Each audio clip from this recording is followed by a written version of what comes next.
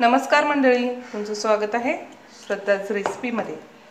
आज आपण बघणार आहोत सोयाबीनची भाजी. त्यासाठी लागणारं आपण इथं साहित्य बघूया. हे मी सोयाबीन घेतलेले. हे उकडून मी घेतलेले. आहे एक पाच मिनटं उकळत्या पाण्यात ह्याला उकळून घेतलेलं. आहे इथं फोडणीसाठी थोडंसं कांदा हे दोन मोठे कांदे घेतलेले आहेत मी. थोडं मिरं हे आपलं कोल्हापुरी लाल तिखट गरम मसाला हळद तमालपत्र आणि हे साधं लाल तिखट. हे तर मी आलं लसूण कोथिंबीर आणि खोबरं. याची मी इथं मिक्सरला बारीक अशी पेस्ट करून घेतलेली.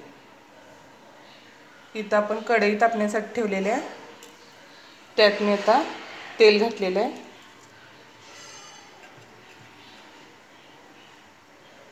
आपण ह्या अशा पळीनं दोन पळी तेल घेतलेलं आहे. या भाजीसाठी थोडंसं तेल जास्तच आपण टाकणार आहोत.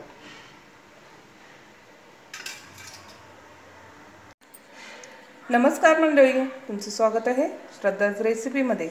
आज आपण बघणार आहोत सोयाबीनची भाजी. इथं मी सोयाबीन घेतलेलं आहे. हे गरम पाण्यात एक पाच मिनटं उकळून घेतलेलं आहे याला. इथं फोडणीसाठी कांदा मिरं हे घरगुती लाल तिखट हे कोल्हापुरी लाल तिखट गरम मसाला तमालपत्र हळद आणि हा मिक्सरला मसाला वाटून घेतलेला आहे. आपला ओला मसाला.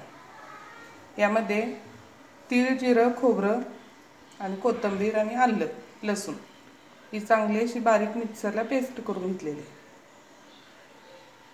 इथं मी तेल तापण्यासाठी ठेवलेलं आहे.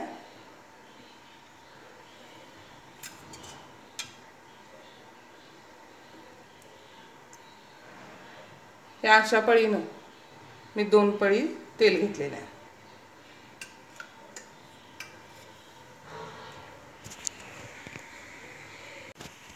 इथं आपलं तेल आता चांगलं तापलेलं आहे. आपण त्यामध्ये कांदा टाकूया.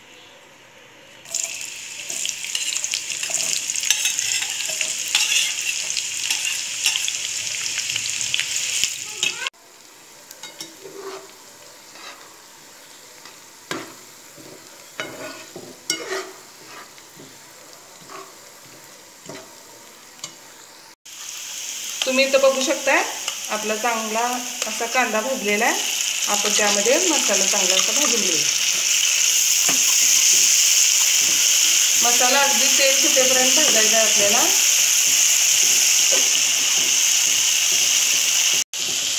तुम्ही इथं बघू शकताय मसाल्याला चांगलं असं तेल सुटलेलं आहे. आपण त्यामध्ये आता गरम मसाले टाकून घेऊया. हे तुम्हाला मी मगाशी दाखवलं होतं. हे सगळं आपल्याला यामध्ये टाकून घ्यायचं आहे.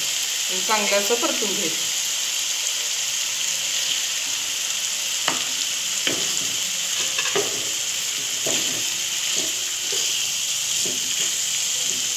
त्यामध्येच आपल्याला चार ते पाच मिरं टाकायचे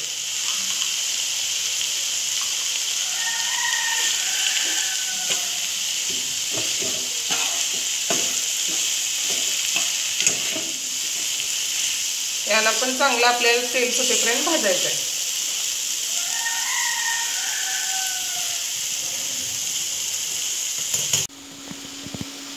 तिथं तुम्ही बघू शकताय आपला मसाला चांगला असा परतलेला आहे. त्यामध्ये आपण गरम पाणी टाकून घेऊ.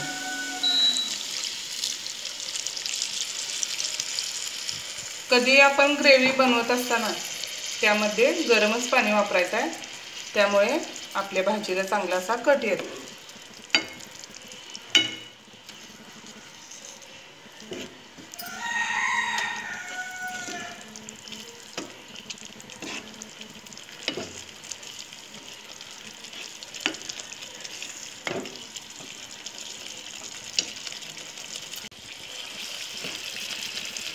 तुम्ही आता इथं बघू शकताय आपली ग्रेव्ही तयार झालेली आहे.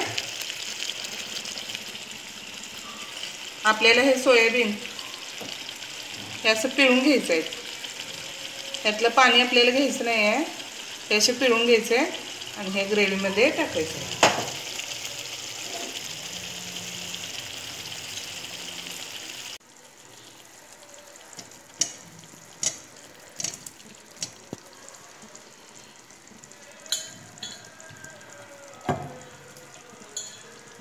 हे सगळे सोयाबीन पिळून आपल्याला ग्रेव्हीमध्ये टाकून घ्यायचं आहे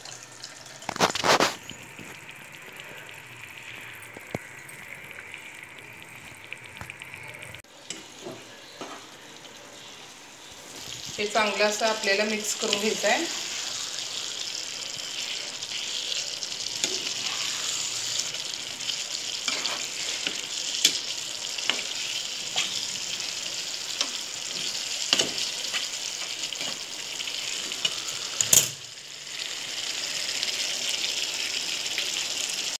तुम्ही इथं बघू शकता आपली भाजी तयार झालेली आहे. आपण त्यावरती एक चिमूटभर साखर टाकून घेणार आहोत. कधीही आपण मसाल्याची ग्रेव्ही करतोय त्यावेळी एक चिमूटभर साखर टाकायची. म्हणजे आपल्या ग्रेव्हीला चांगली चव येते.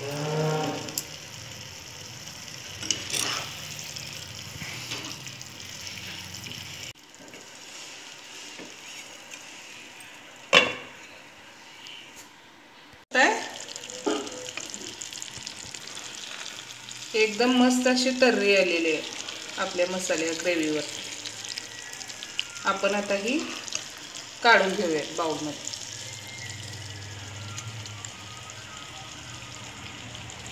चवीला अतिशय भन्नाट अशी आपली मसाला ग्रेव्ही तयार होते. तुम्हाला आवडली असेल तर करून बघा. आणि लाईक शेअर आणि सबस्क्राईब करायला विसरू नका. धन्यवाद.